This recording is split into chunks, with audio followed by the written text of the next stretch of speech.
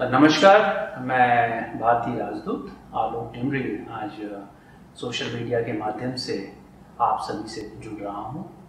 इस समय Kyrgyz Republic में भारतीय समुदाय, जिसकी संख्या चौदह हज़ार के आसपास है और मुख्यतः जिसमें हमारे मेडिकल छात्रगण शामिल हैं, आज एक चुनौती भरे समय से गुजर रहा है।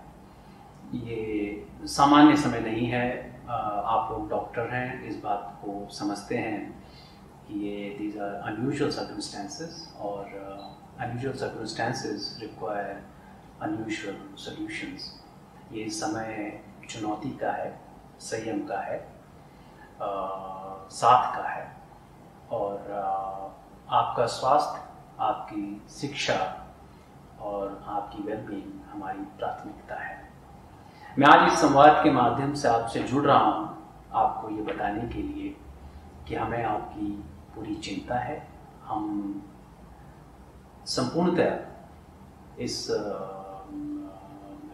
मुद्दे पर हमारी नज़र है। हम इस पर सुपरविजन बरकरार किए हुए हैं।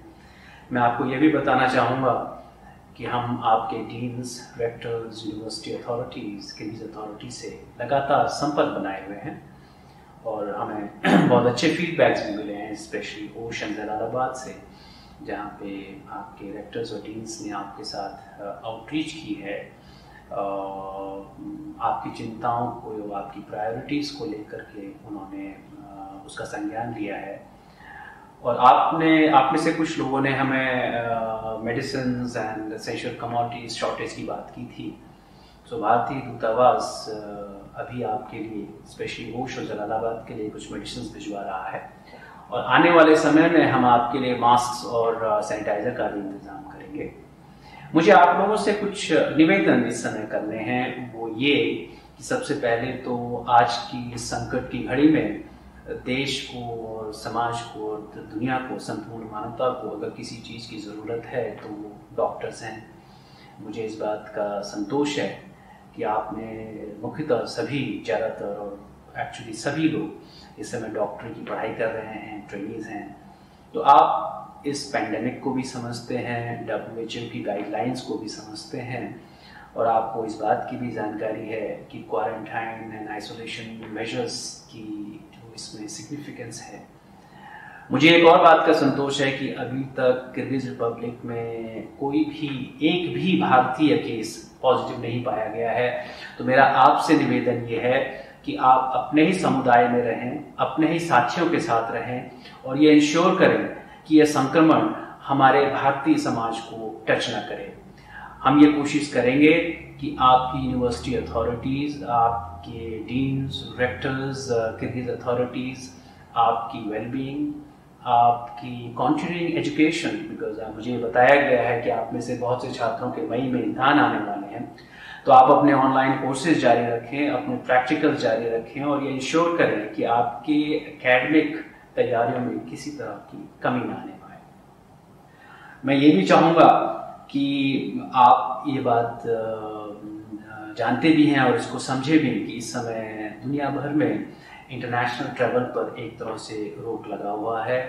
Quarantine measures both in the countries of origin and in the countries of reception there are strong quarantine measures तो uh, इस समय में और जैसा कि आपको ये भी विदित है कि किर्गिज रिपब्लिक के केस मुख्यतः एक एयर ट्रैवल से ही किर्गिज रिपब्लिक आए हैं।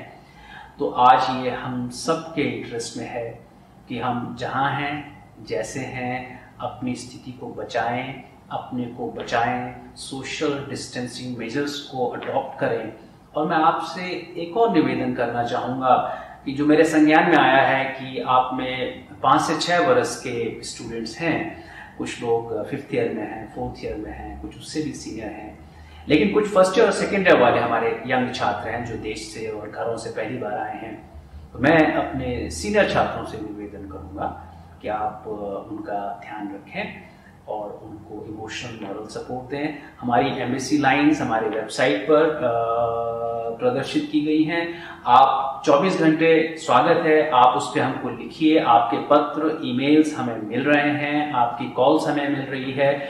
एम्बेसी अधिकारीगण इंडिविजुअली कॉल करके आप सब तक पहुँचने का प्रयास कर रहे हैं और आ, मैं आपको ये आश्वासन दिलाना चाहता हूँ कि हम इस संपूर्ण कार्य में आपसे लगातार जुड़े रहेंगे स्थिति पर नज़र रखेंगे और जैसी भी परिस्थिति होगी उसका सर्वश्रेष्ठ जो हमारा आकलन होगा जो बेस्ट ऑप्शन होगा वो हम आपके बारे में सोचेंगे।